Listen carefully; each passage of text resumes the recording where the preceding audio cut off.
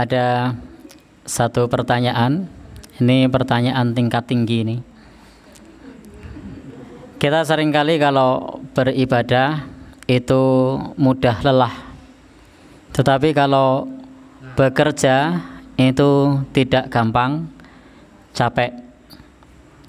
Bapak Ibu yang berbahagia yang membedakan adalah ketika kita melaksanakan amalan yang sifatnya dunia, kenapa kita tidak mudah lelah? Karena ada harapan.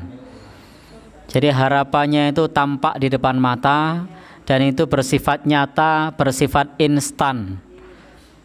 Jangka pendek. Sementara kalau beramal akhirat itu hadiahnya tidak tampak, pahalanya tidak instan dan itu sifatnya jangka panjang.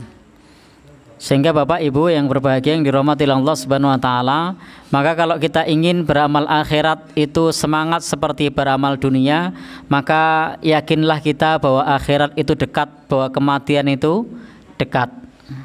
Sama halnya ketika kita bekerja, itu yang diharapkan sebentar lagi gajian. Kapan terima gaji? Nah, sehingga dia akan semangat.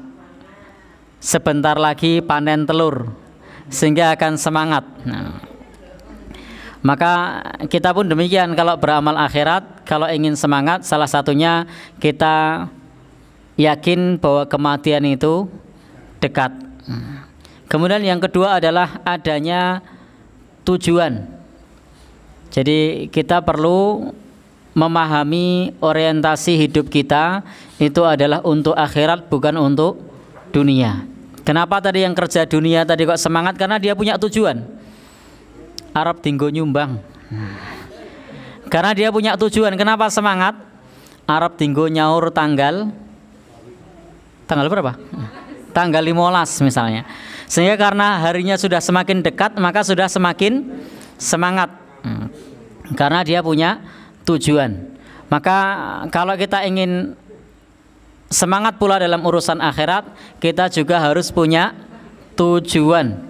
Bahwasanya hidup kita yang sesungguhnya itu bukan di dunia tapi di akhirat. Bapak Ibu, tapi memang di dalam hal ini adalah bahwa urusan akhirat ini semua tidak semudah teori yang kita ucapkan.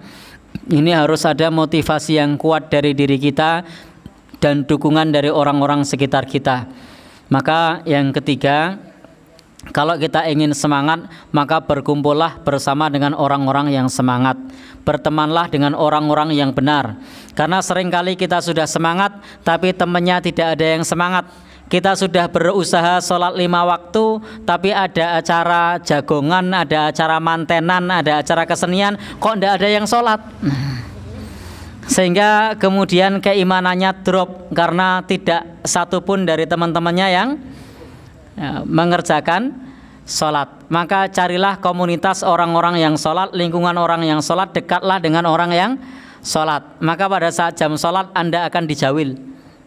Monggo pak sholat sareng. Nah sehingga kita akan tetap semangat. Maka penting kita punya uh, komunitas. Jadi yang pertama pahami bahwa kematian itu dekat. Yang kedua, pahami tujuan hidup kita itu untuk akhirat. Yang ketiga, kita harus ada kemauan yang kuat dari dalam diri dan didukung dengan lingkungan sekitar. Wallahu alam bisawab.